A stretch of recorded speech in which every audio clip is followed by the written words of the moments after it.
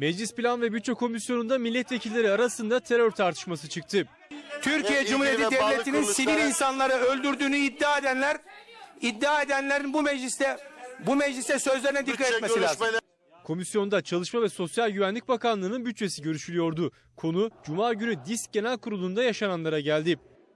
Türkiye Cumhuriyeti Devleti'nin başkanına, Sayın Cumhurbaşkanımıza, bizim hepimize katil sıfatlamasını kabul etmem de mümkün değil. Asıl katiller içeride diyen Bakan Soylu'yla HDP'liler arasında gerilim yaşandı. Siz Cumhurbaşkanına katil diyeceksiniz, öyle mi? Orada insanları insanları koordine edeceksiniz, örgütleyeceksiniz. Ben orada sessiz duracağım. Alıştınız değil mi? 6-7 Ekim olaylarının talimatını Selahattin Demirtaş. Katil arıyorsanız orada oturuyor dedim eğer katil arıyorsanız. Evet. HDP'lilerin sürekli laf atması tansiyonu daha da yükseltti.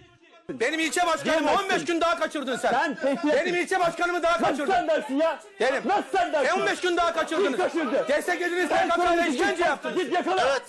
Git yakala. Kimse Siz sorumlusu. işkence yaptınız. Git Siz yakala. PKK ile berabersiniz, PKK ile berabersiniz. Değerli arkadaşlar. Yok öyle bir şey. Git yakala sen pa- iktidarsın. Öyle bir şey. Evet, başınıza yıkarız işte.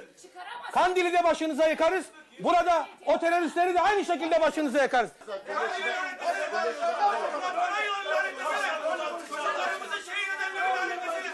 Karşılıklı atışmalar gerilimi iyice artırdı. AK Partili komisyon üyeleri HDP sıralarına doğru hareketlendi.